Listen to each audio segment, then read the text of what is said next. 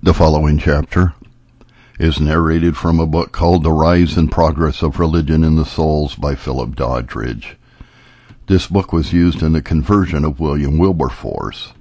This particular chapter is called An Address to a Soul, so overwhelmed with the sense of the greatness of its sins that it dares not apply itself to Christ with any hope of salvation. In the previous chapter, I dealt with the unhappy creatures who despise the gospel and with those that neglect it. But with pleasure I now turn myself to those who will hear me with more regard. Among the various cases which now present themselves to my thoughts and demand my tender, affectionate, respectful care, there is none more worthy of compassion than that which I have mentioned in the title of this chapter none which requires a more immediate attempt of relief. It is very possible some afflicted creature may be ready to cry out, It is enough, aggravate my grief and my distress, no more. The sentence you have been so awfully describing is what shall come upon and be executed on the impenitent and unbelieving is my sentence, and the terrors of it are my terrors. For my iniquities have gone up into the heavens, and my transgressions have reached to the clouds. Revelation 18 verse 5. My case is quite singular. Surely there has never been so great a sinner as I. I've received so many mercies. I've enjoyed so many advantages. I have heard so many invitations of gospel grace. And yet my heart has been so hard, and my nature is so exceeding sinful and the number and aggravating circumstances of my provocations have been such that I dare not hope. It is enough that God has supported me thus long. It is enough that after so many years of wickedness I am yet out of hell. Every day's reprieve is a mercy at which I am astonished. I lie down and wonder that death and damnation have not seized me in my walk the day past. I arise and wonder that my bed has not been my grave.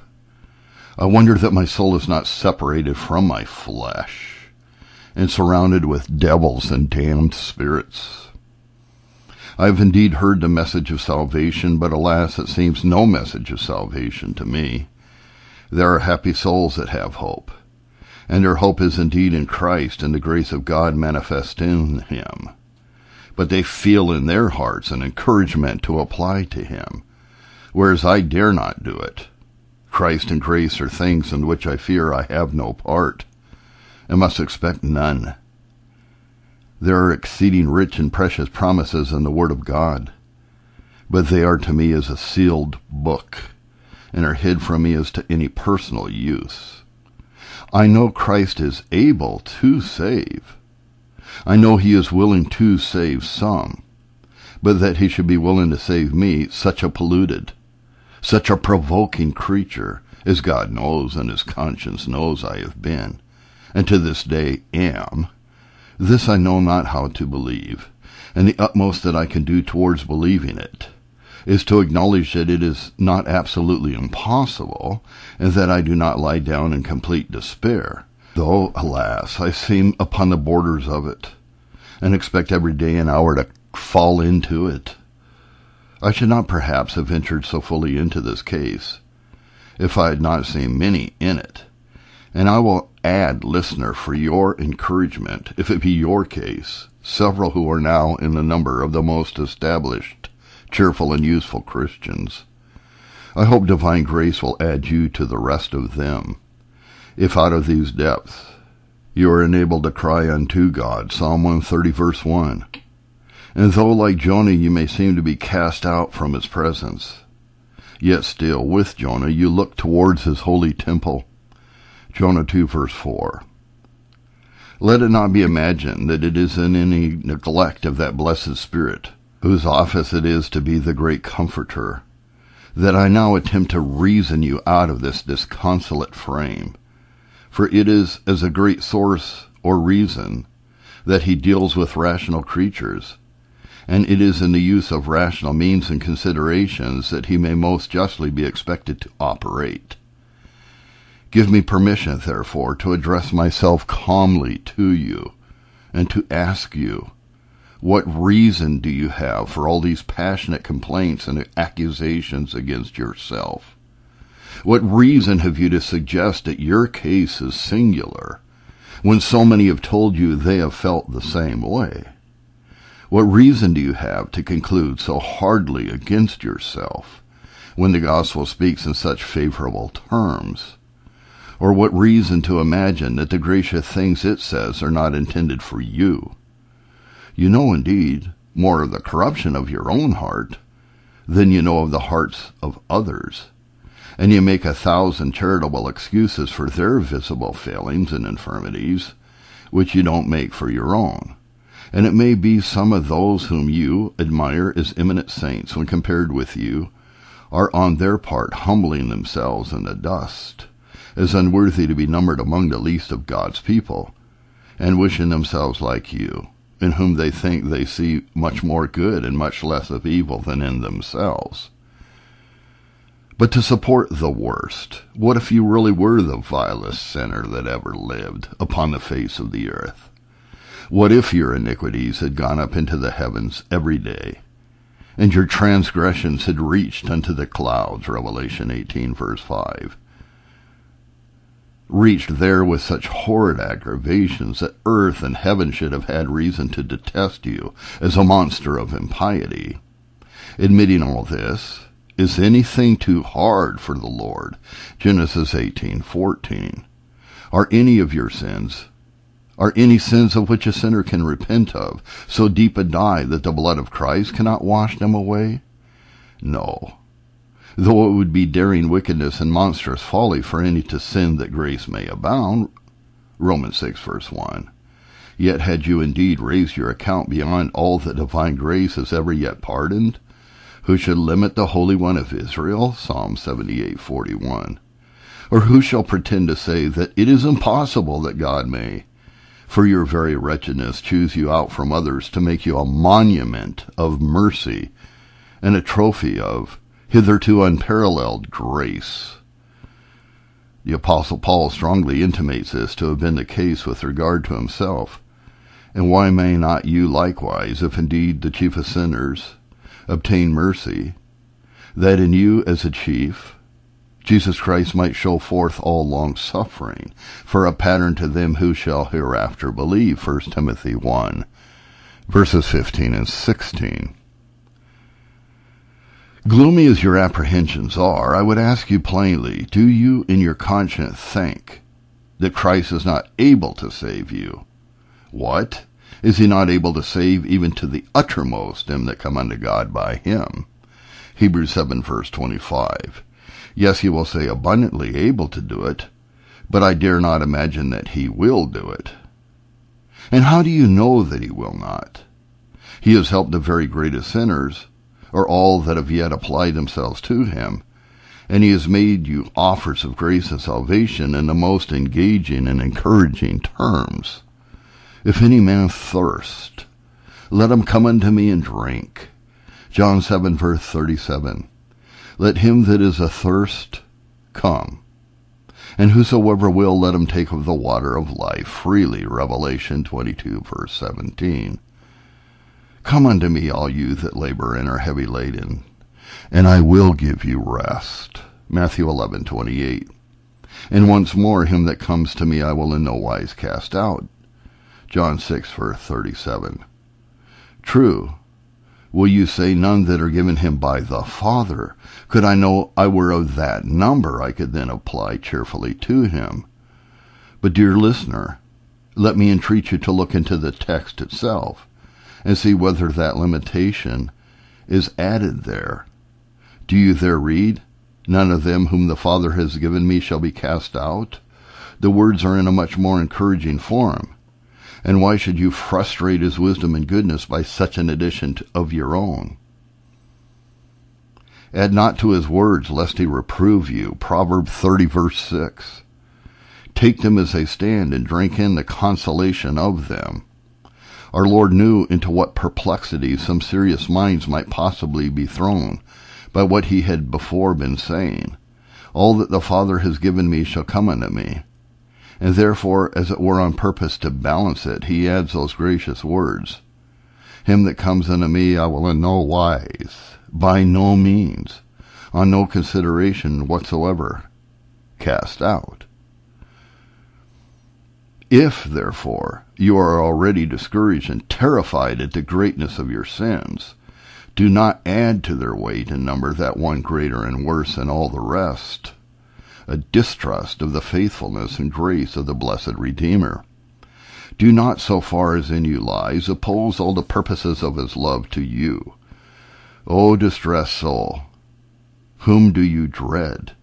To whom do you tremble to approach? Is there anything so terrible in a crucified Redeemer, in a Lamb that was slain?